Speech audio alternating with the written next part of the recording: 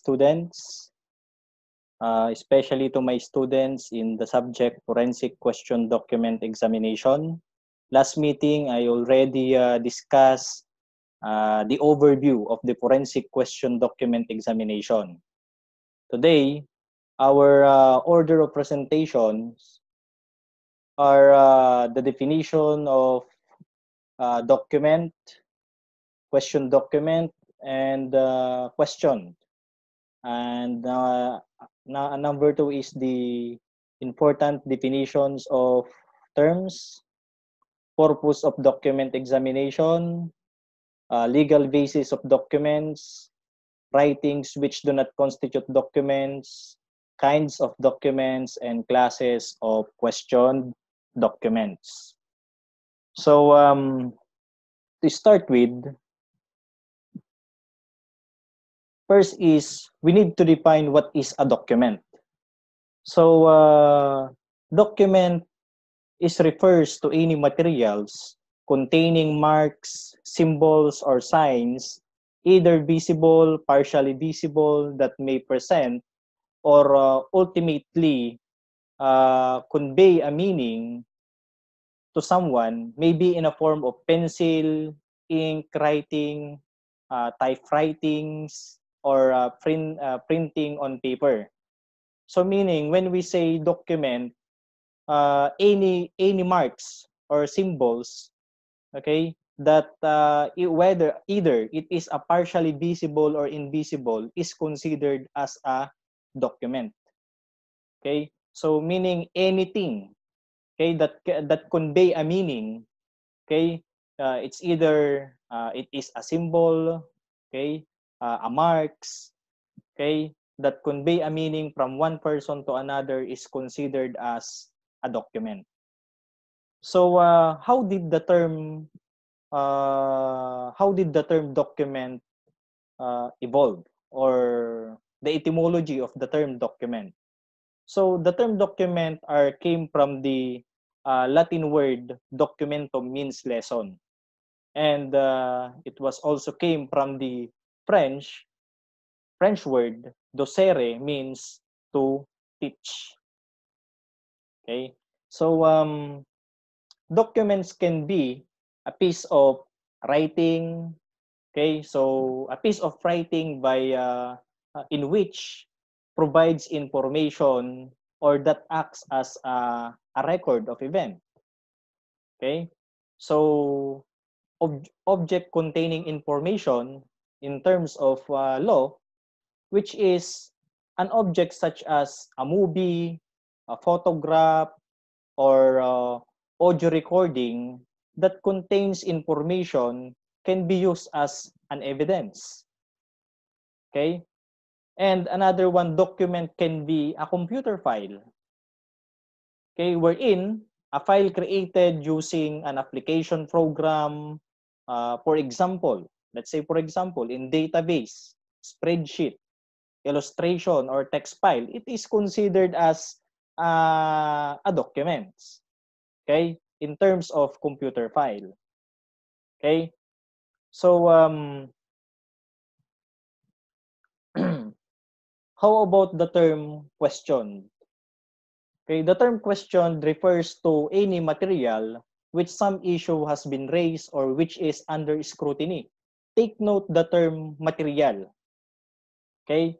So, as much as uh, as far as material is concerned, uh, there are there are a different in a various forms of material, especially in uh, in police matters.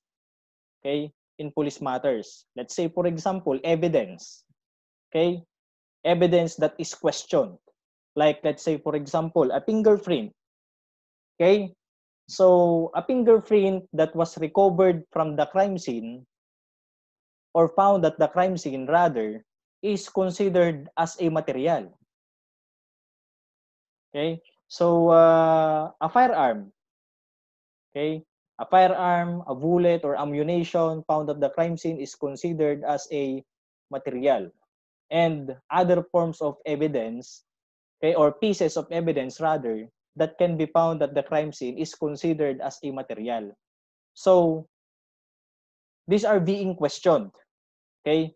Especially during investigation and during court hearing.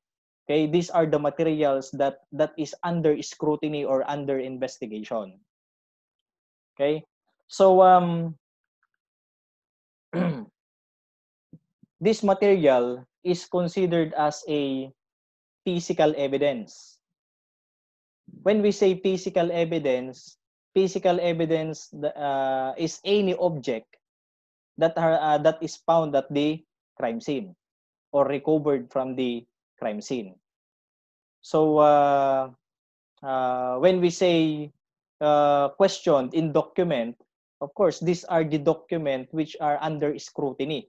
Let's say, for example, poisonous letter or uh, suicide letter. Okay, suicide notes, bank notes. Okay, so example of physical evidence that uh, maybe we found at the crime scene. Okay, these are the object, the weapon, tools, firearms. Okay, displays uh, furniture, notes letter which is in relation to our subject that is the uh, that is uh, very related okay to our subject forensic question document the notes and letters or papers okay but as far as material is concerned all of them like a bullet vehicle cigarette blood semen hair tissue okay and other and so on and other uh, uh, material okay, that are found at the crime scene is considered as a physical evidence. Okay? So, um, how about the term question document? When we say question document, one in which the facts appearing therein may not be true and contested either in whole part with respect to its authenticity, identity, or origin. So, question document uh, maybe uh, a deed, a contract, um, yes, uh, uh, election ballot, okay, marriage contract, checks, visas, application form, check writers, and certificates, okay, uh, a subject for questioned document. Okay, so um, a document uh, is question uh, when when when we say that a document is considered question okay? You may ask class when does document become uh, questioned so a document is questioned because its origin uh, it's because of its origin its content or circumstance and story regarding is a production aroused suspicious Okay? In other words, there is a suspicious or there are something wrong with that document. Okay? As uh, uh, suspicious or something wrong with that document as as of its genuineness. Okay? Or maybe adversely uh, adversely scrutinized simply because it is displays displaces someone. Okay? Further, uh, document uh, is questioned when it is disputed or attacked either uh, in a whole or uh, in a part to its date okay take note the term uh, date or age okay as to its source or origin uh, as to uh, as to the material used in the production of course um, in terms of productions and as uh, as it to its relations in some other documents. Okay? Relevancy. Okay? Take uh, the term relevancy in some other document. It is relevant to uh, this document and to the other document. Okay? So um, it must be take note further that uh, uh, in our discussion in forensic question document that the term disputed document and question document uh, can be used interchangeably in our subject. Okay? And even uh, even the forensic question document can be used interchangeably. Okay? I'll repeat ah. Uh, the term disputed document, question document, and forensic question document can be used interchangeably in our subject. Okay? So, um, because uh, these things, okay, uh, these things may signify a document which is under special scrutiny or investigation. Okay, so um, what are the other important terms? Okay, in uh, uh, for the purpose of our discussion, the following are the important terms to be uh, uh, considered or uh, must be known by the uh, students. So number one is the term standard or also known as standard document. So standard or standard document, aka also known as standard document, is uh, refers to condensed and compact set of authentic specimens. Origins are known and can be proven which can be legally used as an example to compare with other matters in question. Okay? On the other hand, is exemplar. When we say exemplar, exemplar is uh, a term used by some document examiners and attorneys to, to characterize known materials. Standard is the older form. So uh, take note, the term standard and exemplar can be used interchangeably in this uh, uh, uh, subject. However, okay, I don't know, uh, standard and exemplar, okay, is um, is uh, both, okay, a compact set of authentic specimen, okay, which um, um, which may example to compare with other matters in question. So in other words, uh, standard and exemplar in our discussion or in the subject forensic question document can be used interchangeably because it is a form of a compact set of authentic specimen. Okay?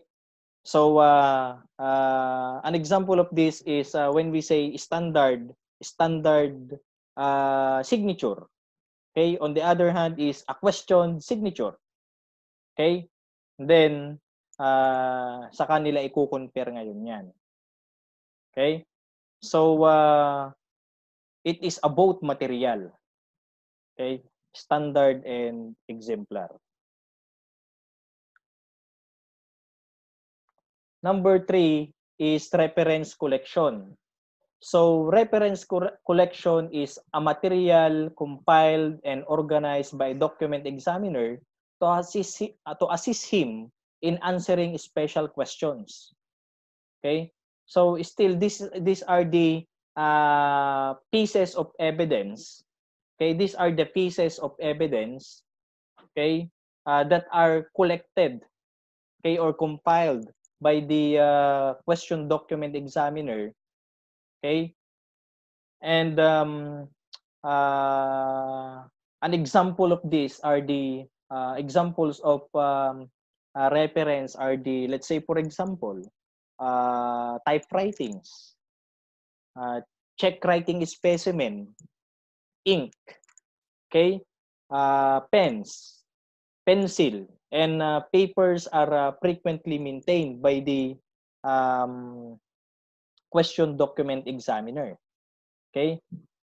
Uh, let's say, for example, uh, typewriting with regard to uh, typewriting with regards of the uh, uh, age of that type uh, typewriting Okay, the pay, uh, the pens. Okay, with regards to ink. Okay, who are the manufacturer? Okay, what is the date of the manufacturing? Okay, another one is holographic document or uh, holograph. Okay, any document uh, completely written and signed by one person. In a number of jurisdiction, a holographic will can be probated without anyone having witness in its ex execution. Take note the term can be probated without anyone having witness in its execution. So meaning when we say holographic document, this is known as the um, um, tawag dito, last will and testament. Okay, an example of holographic document is a, last will and testament. Okay? So uh, of course, um, kunyari, kapag marami kayong mga, maraming lupa yung lolo ninyo, di pwede yung pagawin ng last will and testament and then, uh, ipangalan sa inyo.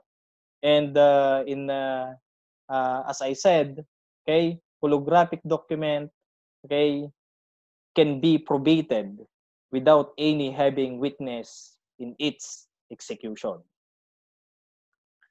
Okay? So, uh, another uh, term, okay, important term is alteration.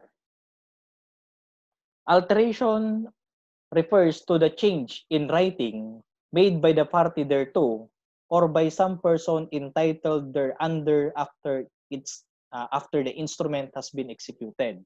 Such change such uh, changes is made without the consent of the other party interested and give the instrument a different effect from that where it is originally possessed. Okay? So how it is made? How alteration is made? You may ask. Okay? How the alteration is made by someone. So alteration, okay, uh, may be made in any of the following.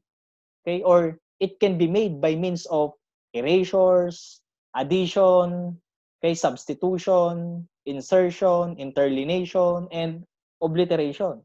Because alteration, based on the definition of alteration, it is the or refers to the change in writing made by the uh, by the party thereto. So meaning we can change it by means of erasures, deletion or delete. Okay, you can delete someone or you delete something with the document, it is considered as an alteration. When you insert someone or place someone in the or uh, place some uh, some writings rather, if you place some writings in the document, okay, you insert, okay, uh, obliterate, nagbura ka, okay, pinatungan mo ng um, uh, other coloring material, okay, for it to be word to be invisible, that is considered as a form of alteration. Okay?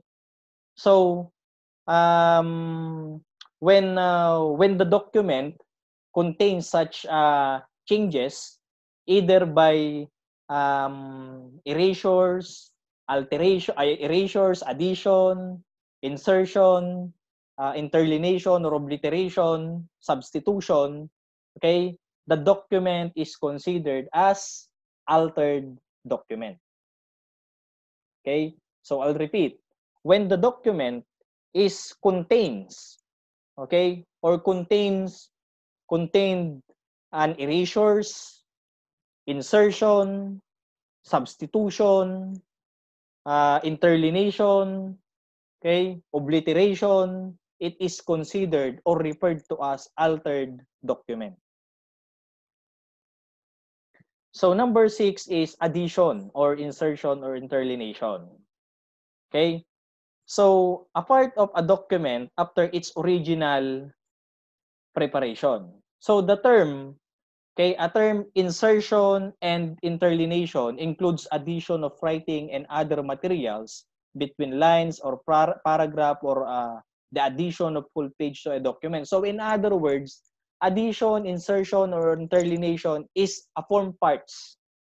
Okay? Uh, uh, magkakasama yung mga yan. Kumbaga is, uh, they have the same meaning. Okay? So, or uh, it can be used interchangeably in our subject. The term addition, insertion, or interlineation. And erasures. Okay? So the removal of um, writings, typewriting, or printing from a document. It may be accomplished either of the two means. Okay? Uh, it, it's either mechanical or chemical erasures. Okay? So, um, um, still, um, addition, insertion, termination, and uh, erasures is a form part of alteration. Another one is obliteration. Obliteration is the uh, blotting out or uh, shearing over the writing to make original invisible uh, to us an addition. So take note the term blotting out or sharing over. So meaning uh, by placing some uh, chemicals or um, uh, object in order for the writings or the words or phrase to be invisible, then sa kanila ngayon i-insert yung word na gusto nila or yung phrase na gusto nila. That is known as obliteration, the blotting out or sharing over. Okay?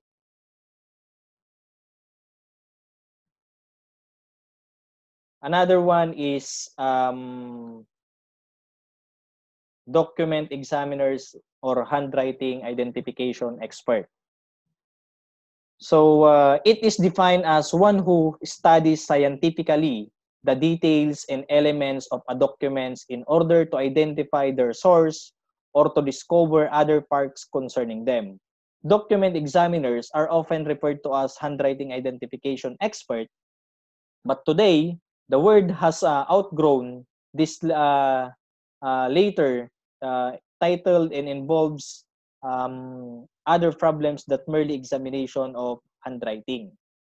Okay, so um, as far as document examiner and the handwriting identification expert, we can also refer them as a forensic question document examiner or a forensic question document expert. Okay, So um, last meeting, uh, we already talk what are the qualification or uh, yes, who may become as a document examiner. Okay, um, according to uh, according to ABC uh, ABCDF. Okay, so uh, or American Question Document um, Accrediting Agency. Okay, So um next is identification or identity and non-identification and non-identity. Okay, so uh, it is um uh, it is um a term okay as uh, identification as similarity or what is the similarities and non-identification is what is the dissimilarities okay So meaning what are the difference? Ano yung pagkakaparehas at ano yung hindi nila pagkakaparehas? It is um um uh, tawag dito, it is determined during the uh, uh, ACE-B methodology or analysis, comparison, evaluation, and um, uh, ano na yung isa? Ano no? Um, analysis, comparison, evaluation, and the verification methodology. Okay? So identification, okay, um, it is the state of being uh, identical or absolutely the same as similar of the uh, similarity of source or authorship of question document. Okay? So as I said before, okay, no two person have the same um, uh, handwriting exactly alike. Okay?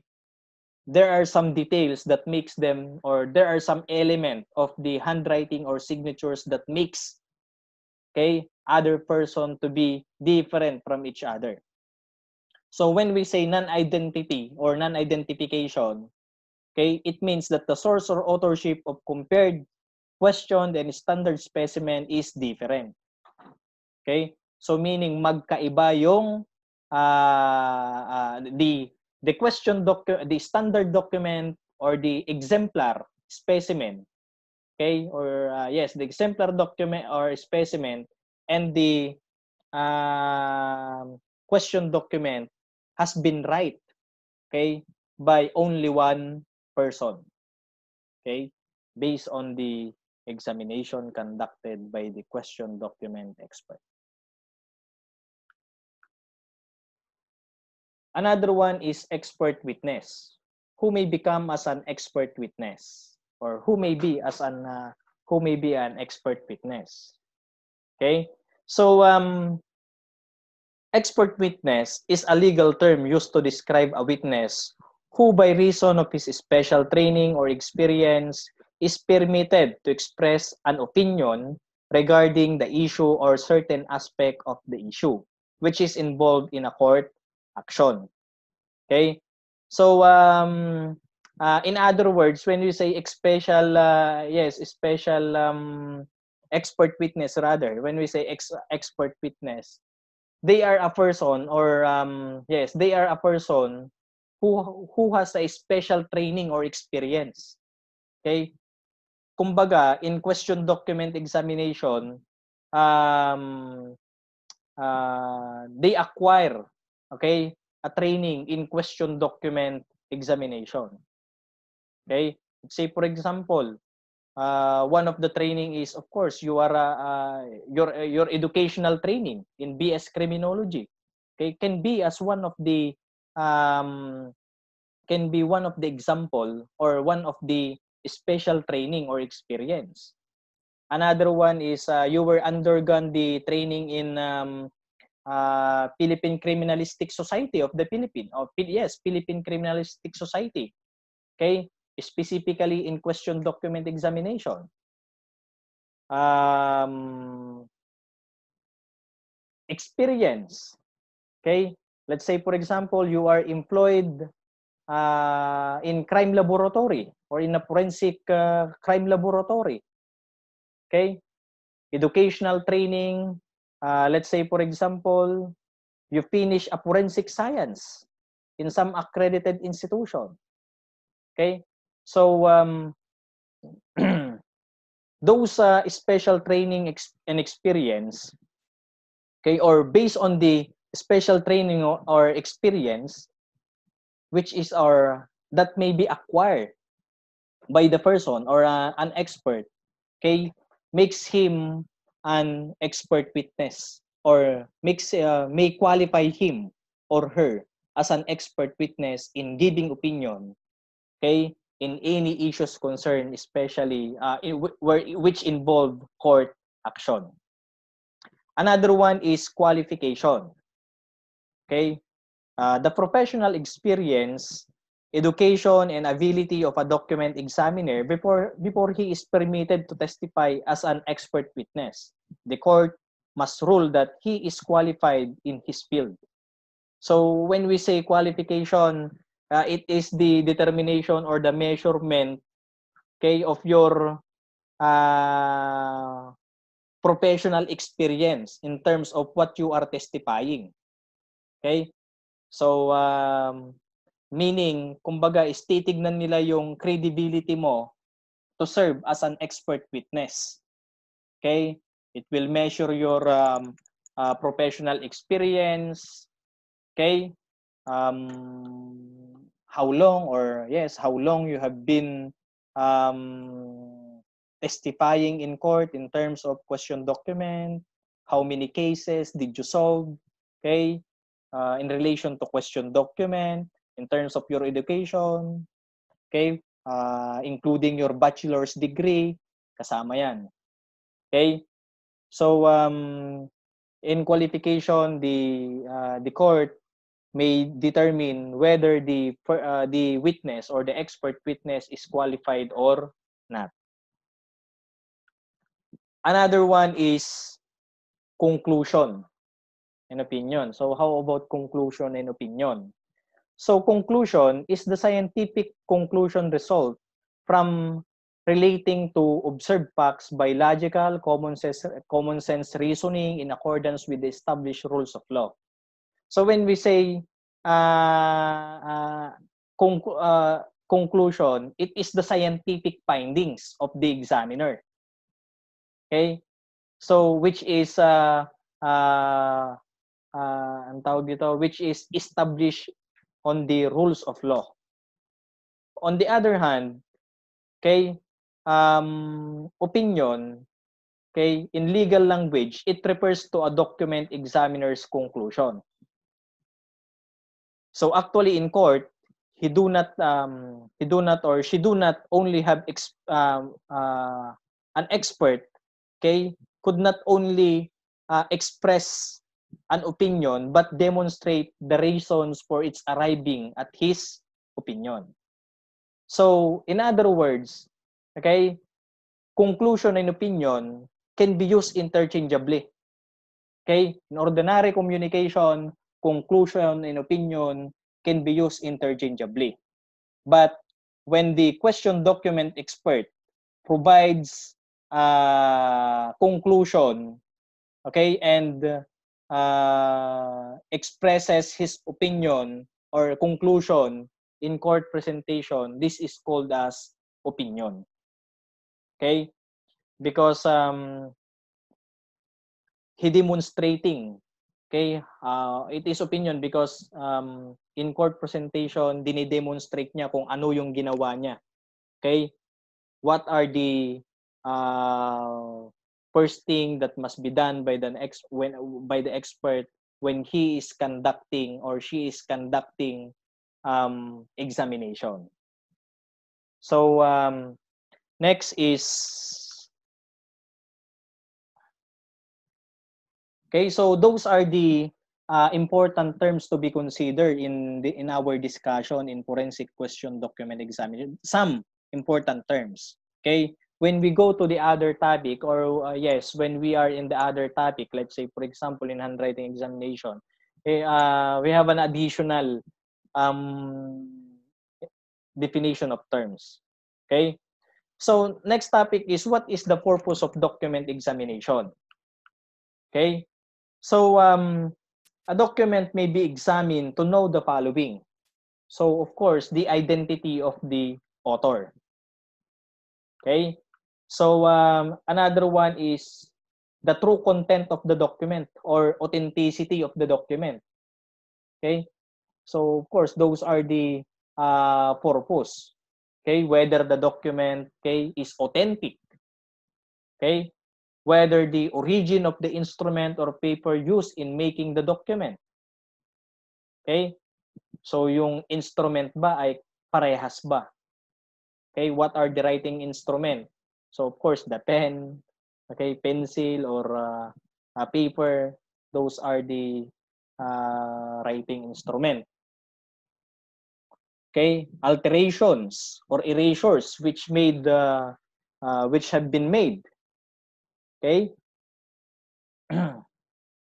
and uh, one of the important purposes of or purpose of document examination is to furnish an investigator in the field with sufficient background information concerning document examination. Why? Why do we need to furnish them? Because the investigator is known as the uh, the prover of the case. Okay?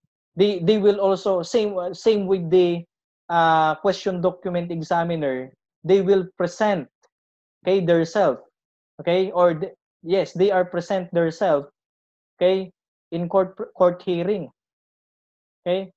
Pinapatawag din sila ng korte para mag-present doon. Okay?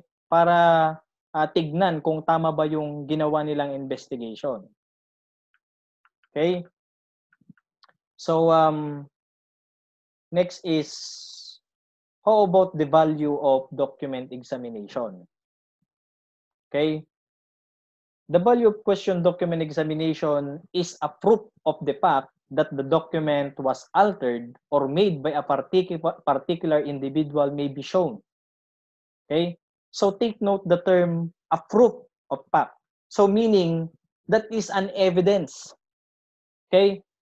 that is a that is a form of evidence okay when we say evidence when we say evidence evidence is a means sanctioned by the rules of court of ascertaining in a judicial proceeding respecting a matter of fact okay the the, the word phrase or the, the the word means under the definition of evidence means um uh where uh, either it is a um uh, physical evidence, uh, testimonial evidence, or documentary evidence.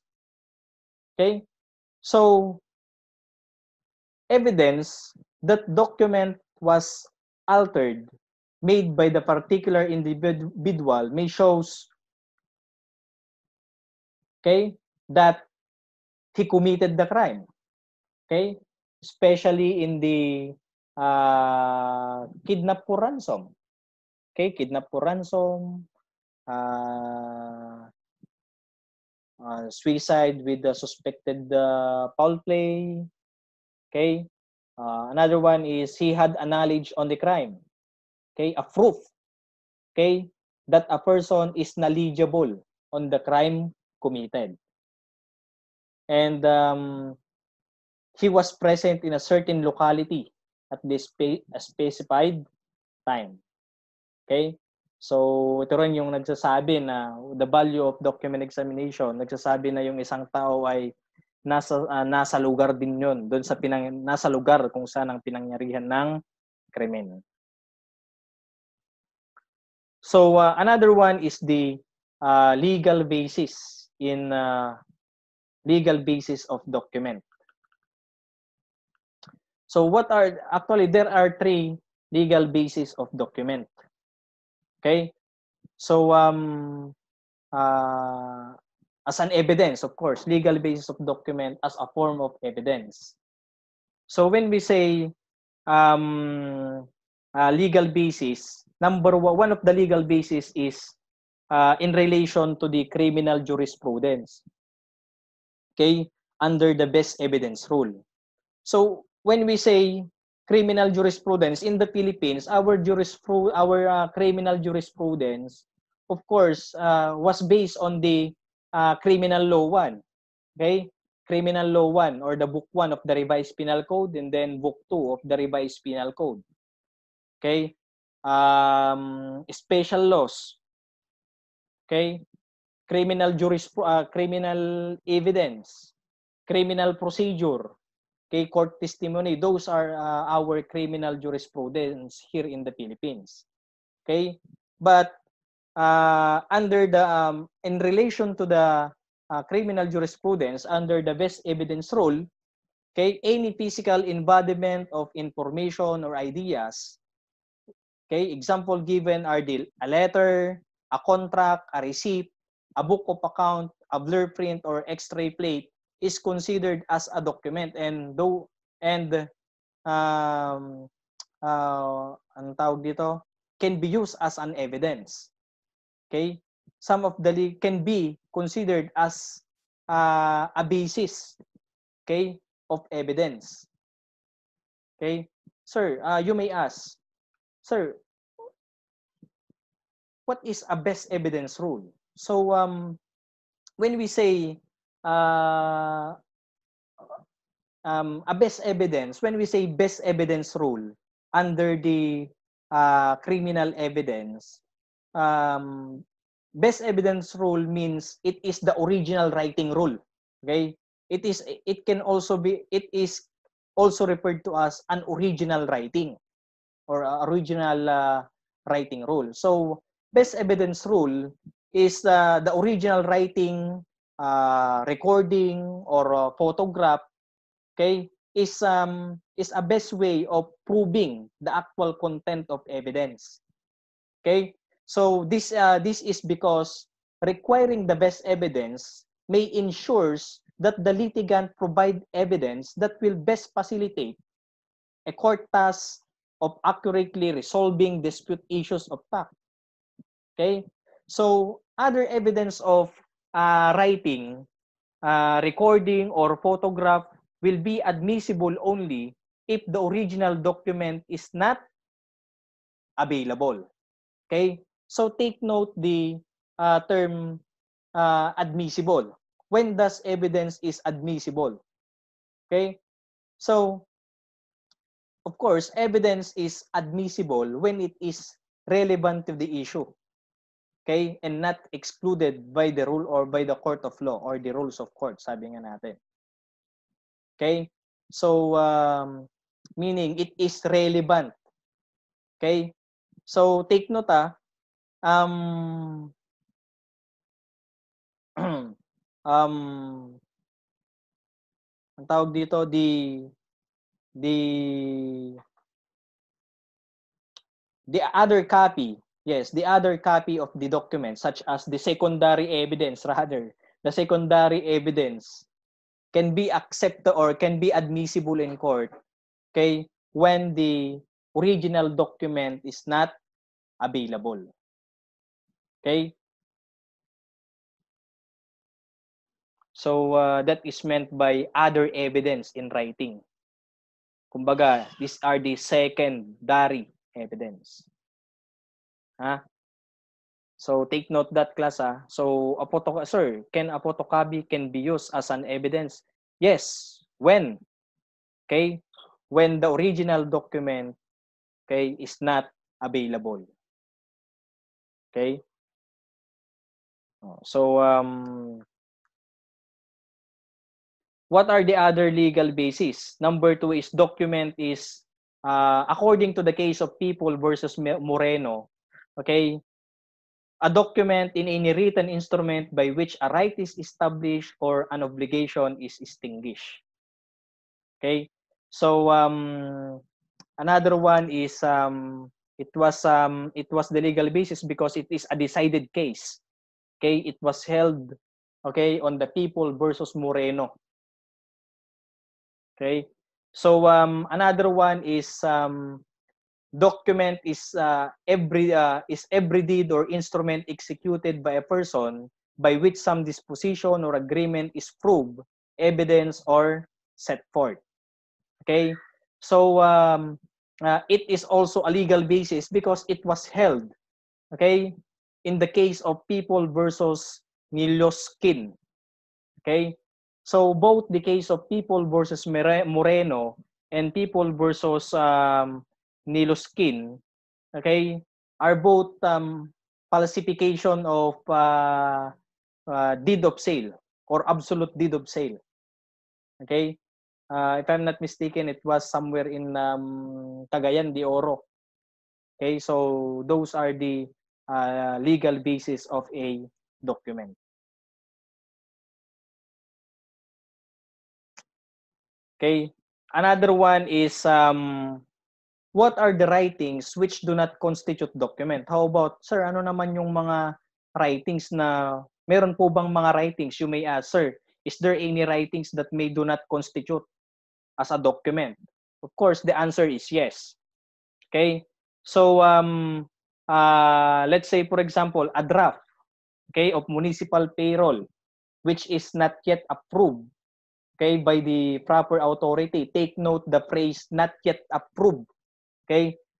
Uh, when the drop of uh, payroll, municipal payroll, is not yet approved by the proper authority, then it is not considered, uh, it, it is not constitute as a document.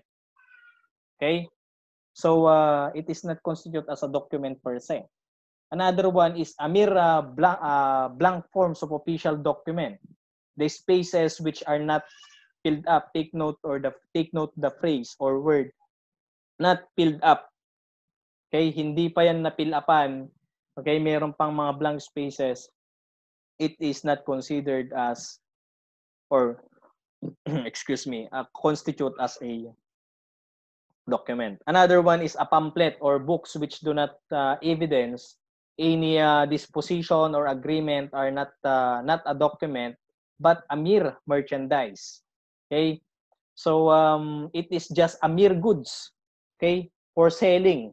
So it is not considered as a document. So um, how about what are the kinds of uh, document? Okay, so um, docu kinds of documents can be a public document, official document, private document, and commercial document. So how can we say that a document is a public document. So, a document is considered as a public document when any instrument, uh, when, when the document okay, is notarized by the notary public or by a competent uh, public officials uh, with, solemn, uh, with solemnities okay, required by the law. So, um, um, from the part of the public, uh, when we say public document, these are the, uh, from the part of the public records, okay, birth certificates and marriage contracts and etc. is considered as a public document. Okay. On the other hand, official document is um, uh, refers to any instrument uh, any instrument issued by the government or its agent or its officers having the authority to do so and the offices which is in accordance with their creation they are authorized to issue and uh, uh, be issued in a performance of their duties so meaning uh, when we say official uh, document um, these are in connection with the uh, public officers officials function official function. Okay? Suspension letters and barangay clearance are considered as a official document. Okay? Take note ah, official document are those any materials who are issued by the government or his agent in connection to their uh, offices okay in accordance with the creation okay in accordance to the uh, things that they are issues in the performance of their duties are considered as official document okay? So when we say public document it is uh, those document that are uh, with the intervention of the notary public or a competent public uh, officials that may uh, uh, required by the law. To so uh, anong tawag dito? That may officially um, required by the law. To solemnize okay? Oh, so um another one is uh, private document. So uh, as far as private document is concerned every deed or uh, instrument executed by private person without the intervention of the notary public is considered as a private document. So meaning, uh, um, a resume, okay, which is executed by individual, it is uh, considered as a private document. Okay? So a love letter, okay, a love letter is considered as a private document. Okay? So, um, a last will and testament is considered as a private document. Another one is a commercial document. How about commercial document? Commercial document is, sorry, a commercial document is any instrument executed in accordance with the Code of Commerce or uh, any mer, uh, mer, um, mercantile, uh, mercantile law containing a dispositions of commercial rights or obligations. Okay? So, uh, let's say, for example, a receipt. Okay? So, a receipt is considered as a commercial document. So, those are the four kinds of document. Okay? Here in the Philippines, okay, um, those are the four types of the public, the official, and pr private and commercial document. So how about the, what are the uh, classes of question documents? Okay, what are the classes of uh, question documents? So classes of question documents, okay, are the documents with question signatures, okay, uh, merong question, merong uh, the, the signature is under scrutiny or under investigation. Question documents uh, alleged to have been containing fraudulent alteration. Okay, so is there any uh, uh, is the document being questioned is um, uh, fraudulent? There there is a uh, contains a fraudulent alteration. So when we say fraudulent alteration, um, intentionally okay? Without good faith intentionally uh, insert some uh, some uh, writings or um, uh, ang tawag dito words or phrase okay? Without the um ang tawag dito? Without the consent of the other party questioned or disputed uh, questioned or disputed holographic will okay so the such as the holographic will the last will and testament, and then the notarial will. Okay? So holographic will is there is no uh, intervention of the uh, writing of the testor, meaning there is no intervention of the um, there is no intervention of the notary public. However, when we say notarial will, these are the uh, this is the will the will and the the uh, will and testament okay uh, attested by the notary public so um take note that there are two kinds of um, holograph uh, types of uh, last will and testament so it can be a holographic and the other one is a notary, notarial yung holographic there is no uh, intervention of the notary public. On the other hand, notarial is there is a intervention of notary public. Another one is document investigated on question of typewriting with view of, okay, ascertaining their source, okay, determining where what is or uh, where is the source, ascertaining their date, what is the original date, okay, determining or whether or not they contain prudent alterations, or uh, substituted um, yes substituted pages okay?